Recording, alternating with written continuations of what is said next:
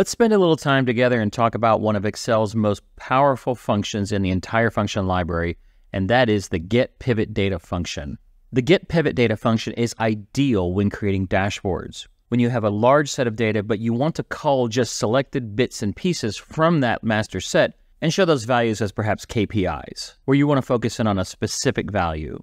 Let's take this pivot table for example. Suppose I want to showcase this value here which is the total sales of baseballs for Sports Emporium in the Midwest. Now, what most people would do is they would type in something like equals and then type in the address of that cell, which is K9. Hit enter, and now the value of K9 is reflected in another location. But the way most people discover the get pivot data function is they don't want to type the cell address. Let me delete this. So they take a little shortcut by just typing in equals, and then with their mouse, they click on the cell that has the value in the pivot table. And now they're presented with what looks like an absolute piece of insanity. Now, most people can't hit the escape key fast enough to run away from this. But if you take the time to understand what each of these pieces are, and believe me, they're already pieces you're very familiar with, you'll find that this method of displaying key pieces of data in another location is far superior to something like equals K9. Even though that looks simpler, it has massive drawbacks. So let's get into understanding get pivot data. The get pivot data function is what I call a bounty hunter function. In other words, you tell it what you want and it will go get it and bring it back to you. So let's say that I want to show the grand total sales. So I have this table over here and it's got sales rep, date of sale, product, state, region, supplier, and sales. And suppose I want to see the grand total sales in this cell. Let me scroll over. If I type in equals and then the address that holds that total sales, I5, I will see the grand total sales reflected. But if I go into the pivot table and I break those total sales down, say by product, I'll put that in the rows. Now I see the word baseballs because baseballs is in cell I5. So now I have to come back up here and change this to the new location, J14, and now I see my grand total sales again. But let's go back into the pivot table and maybe we'll take these sales and break them down by region across our columns. Now the grand total sales is in O15. J14 is now looking at the sales for Midwest tennis balls. So every time the structure of this pivot table changes, I have to update my link to my KPI in my dashboard. Let's go back into the pivot table and take those products and regions out. So now we're back just to the total sales. So now instead of saying equals some cell reference, I'll say equals and click on the total sales. And what I get is a get pivot data function. Now, if you don't get this get pivot data function and instead you get like a normal cell reference, the reason for that would be, let's hit escape. If you go to the pivot table and go up to the analyze ribbon, next to the options button in the upper left, there's a little arrow you can hit. This option for generate get pivot data must be checked for the automatic generation of the get pivot data function. So if you're just getting a standard cell reference like I5, it's because this option has been turned off. So go back and turn it on. Let's go back to our mission. I'll type in equals click on the total sales, and I get the get pivot data function. Now, all it says here is to go get the sales in cell I4. Now, this total sales is actually in I5, but the pivot table begins in I4. So the upper left corner is what we're actually pointing at. We're not pointing to the cell that holds the value.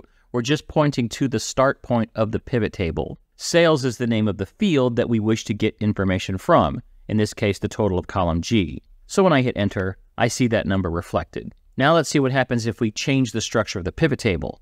I'll go to the pivot table and I'm going to take product and put it in the rows. Notice the grand total sales KPI did not change because if you look at the formula, it says go get the sales from the pivot table that starts in cell I4. Well, sales without any modifiers has now moved to cell J14. We go back to the pivot table. I'm going to add region to the columns. The total sales is now in cell O15, but Get Pivot Data doesn't care. It just says, I'm going to go get the sales from the pivot table that starts in I4. No matter where it is, even if it changes, I will get it and bring it back to you. That's why I call it a bounty hunter. So even though without question this is more complicated than just typing in something like equals O15, the resilience you get from the get pivot data function far outweighs its complexity. So now let's look at some examples of the get pivot data function in action and some various use cases. Be sure to download this file from the link in the video description so you can follow along as I develop the solution or go back and just look at all the finished formulas. So I've got that same data set here of sales representative, product state, region supplier sales. So let's just minimize that because we don't really need to see that at the moment. So here I built a pivot table If we look at the field wells, I've got sales in the values, products in the rows, regions in the columns. Let's close that for now. If I wanted to find and extract the grand total sales for all regions, all products, in the old days, I would type in something like equals O24, hit enter, and I would get the grand total sales. But with get pivot data, I'll type in equals and then just click on the grand total. Now think about this, even though the formula is more complex, it was actually easier to create because I didn't have to type anything. I just clicked the grand total sales. And so this says, go get the sales for the pivot table that starts in cell I13. I'll hit enter, it's the same value. Now what if we wanted to get the total sales just for the West region? Well, the old way would be to say equals and then N24. But with get pivot data, I'll type in equals and just click on the total sales for West. Now the get pivot data got a little more complicated because now it says go get the sales for the pivot table that starts in cell I13, but only where the region equals West. So region equals West is a filter that has been applied to the total sales. So now we only get the total sales where regions are West. We hit enter, it's the same value. So what you're looking at here is essentially get me the pivot data field for the pivot table that starts in I13, where this particular field is equal to this particular value. From this point forward, it's just all filters. Give me a category, give me a value. Give me a category, give me a value. So let's say that we wanted the total sales for just gloves. Total sales for gloves is in O19, so I type in equals O19, hit enter, and I've got the total sales for gloves. But wouldn't it be easier to just type in equals and then go click on the total sales for gloves, hit enter, same answer. So go get the sales for the pivot table that starts in cell I13 where the product equals gloves. Now let's look at compound filtering. I want the total sales where the product is gloves, but from the West region. Now we can see this value right here in cell N19. So in the old days, I would click and type in equals N19, hit enter, and I return the value. But with get pivot data, I type in equals, click on cell N19, hit enter, same value. But look at the formula. Get pivot data says, go retrieve the cells from the pivot table that starts in I13, where the product is gloves and the region is west. So now we've applied two filters, a product filter and a region filter. And you can have up to 126 of these filter pairs. Now let's do something a little more interesting. Instead of just pointing to pre-calculated answers, we can use values from the pivot table in additional calculations to create more answers. So let's say that we would like to see the percentage of sales for the West compared to all sales. Now in the old days, we'd take the total sales for West as the numerator, which would be equals N24, and divide that by the total sales for everything as the denominator, O24. Hit enter, and there's my percentage of West sales compared to all sales. But with get pivot data, we can say equals, click on the total sales for West. So now we're getting the sales for the pivot table in I-13 where the region is West, divided by, and then I'll click on the total sales for the pivot table that starts in I-13. Hit enter, same answer. Now this formula is longer and more complicated than this one, but remember when the structure of the pivot table changes, this 16.8% value will not turn into something else. So no matter where these fields travel to in the pivot table, we'll still be able to answer that question. For our final example, let's build a bit of dynamism into this. Let's give the user the ability to select their region and their product, and then have the get pivot data bounty hunter function go find those answers and bring them back. I have two drop-down lists built in, one to allow the user to select a region and another to allow the user to select a product. Now these two drop-down lists are just derived using normal data validation coming from these two lists.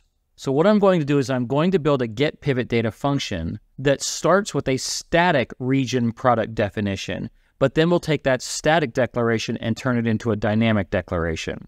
So I'll begin by typing in equals, and I'll just click on any value in the middle of this pivot table, just so I can get two different filters in place. So here I'm getting the total sales for the pivot table that starts in I-13, where the product is gloves and the region is Southeast.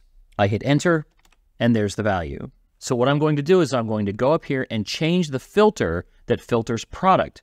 So instead of it being filtered by hard-coded gloves, I want to be filtered by whatever the user picks here in K9. Likewise, instead of filtering a static southeast for region, I want to filter by whatever the user picks here in cell K8. So the fields are static, but the user's choice is dynamic. Now, right now, these two cells are empty, so when I hit enter, I'm going to get a reference error because there is no empty product, empty region. But let's go to the region. We'll select the region, go to product, select the product, and we can see from the get pivot data function that we've retrieved the product for the user selection in K9 and the region of K8.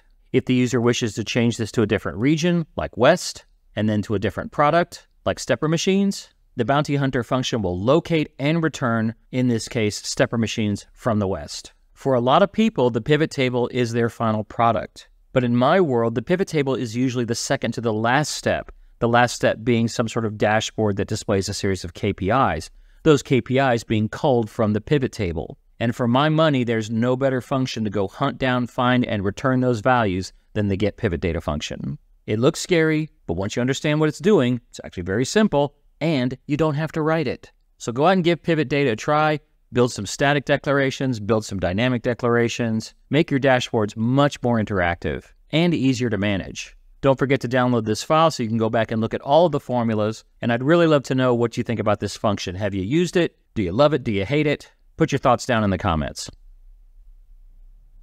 Thank you for watching, and remember at BCTI, the learning never stops.